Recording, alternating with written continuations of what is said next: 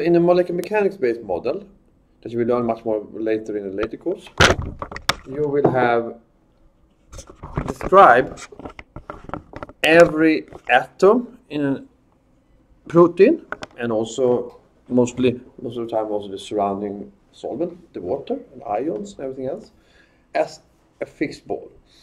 So it has a certain radius and has a certain connection to other atoms. So you have this, and a certain charge. And then you can just use uh, classical Newton mechanics to calculate the uh, forces between all these atoms. And then you can just assume that, using still classical mechanics, to assume that these forces are constant under short, short time, and you iterate the movement that these atoms do during this time. And you just keep on repeating this, repeating this for a long, long, long time. And you can do then simulate even to uh, microseconds.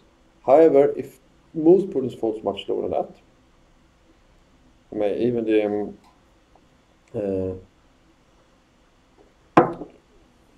so that so the folding is there are, but there are some fast folding proteins that you will see in some videos later, or there are some videos on the home page that you can actually simulate this folding with.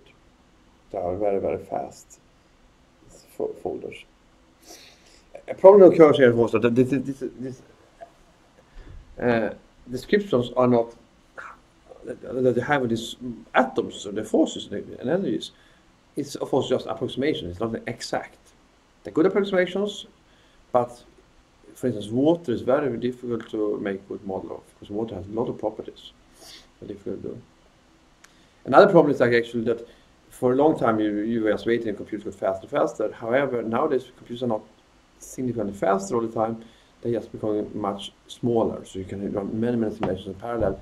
And it's not trivial to scale this up to thousands of processors. You can, I mean, they can be done, but it's not, you lose some efficiency. So what is often done is done also done in folding at home is actually you run many simulations in parallel and you, and you integrate them together to describe the free energy landscape of, of uh, folding simulations. But that, of course, it's not possible if there's a barrier that takes a long time to pass that you have to pass through. Uh, no, so basically, you can you could treat them what, what you do. You treat them as, as balls with mass connected with springs and rods and then you want to minimize the energy. However, you should remember we're not talking about minimizing the energy, we're trying to talk about minimizing the free energy. So what is missing from an energetic description? Yeah, you're correct. You're missing entropy, of course.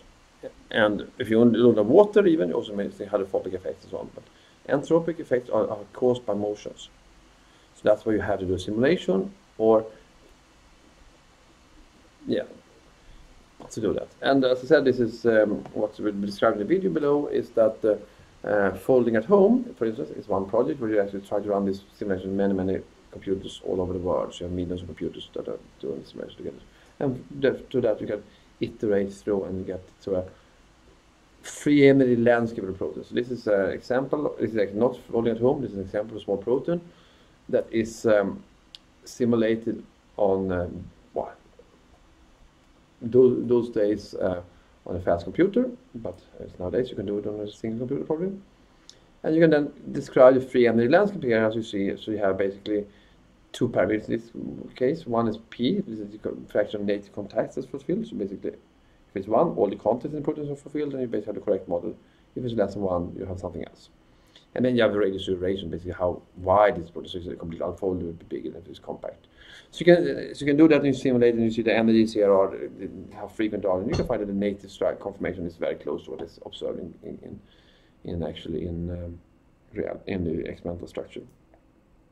And you have see you can find many ways to go there in different ways and there are different sub something that has like 60 70 percent of the native content also is like like looks, looks like a suboptimal minimum etc. And uh, often what you observe these things, what is happening is that, that, that this folding has many different pathways. You can see that things fold not one pathway, it's not like A forms first and then B, but it's, it's a lot of searching, jumping around and unfolding and things like that. As you see in this, uh, described this kind of protein folding funnel. I mean, as you see at the right, and uh, the thing is like, if you really look at this funnel, if you really would look at it will be much more rugged. We have a lot of high peaks that are very difficult to pass through because atoms cannot pass through each other. So you really had to go around. So basically, you have folded it partly wrong. You have to unfold again to fold it back again because you can't pass through each other. So this folding funnel is probably too small to really be describing what I would describe as reality.